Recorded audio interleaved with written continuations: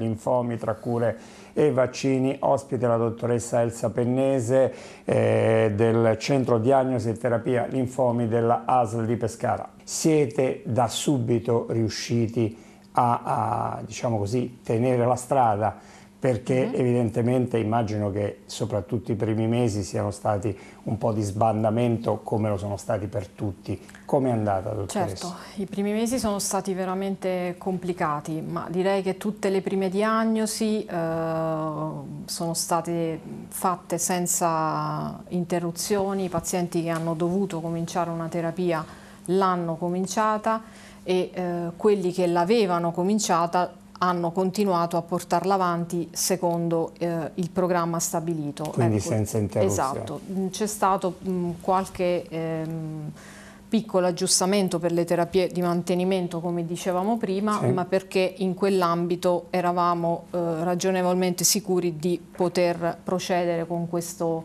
atteggiamento i pazienti che, sono stati, che vengono seguiti eh, in follow up, in quel caso ovviamente eh, li abbiamo dovuti tenere a casa, quindi sono stati tutti ricontattati, eh, gli appuntamenti sono stati eh, annullati, ma li abbiamo invitati tutti a contattarci attraverso le mail e ad inviarci eh, gli esami che, avevano, insomma, che hanno fatto nel corso dei mesi in modo da poterli monitorare a certo. distanza.